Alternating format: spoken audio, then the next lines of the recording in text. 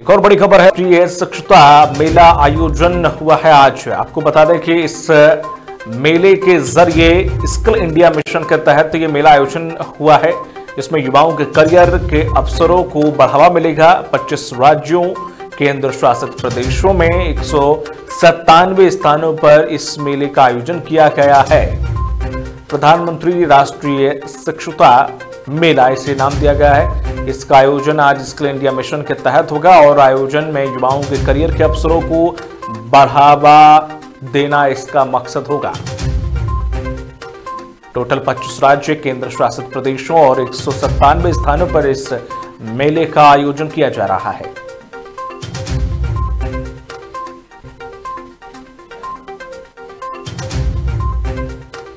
आपको बता दें कि इस मेले से युवाओं के भविष्य में, उनके करियर में जानकारी स्किल डेवलपमेंट और तमाम तरह की जानकारी और वैकेंसीज के बारे में उन्हें जानकारी दी जाएगी, जिससे युवाओं में स्किल डेवलप हो और उन्हें अपने करियर में मदद मिल सके।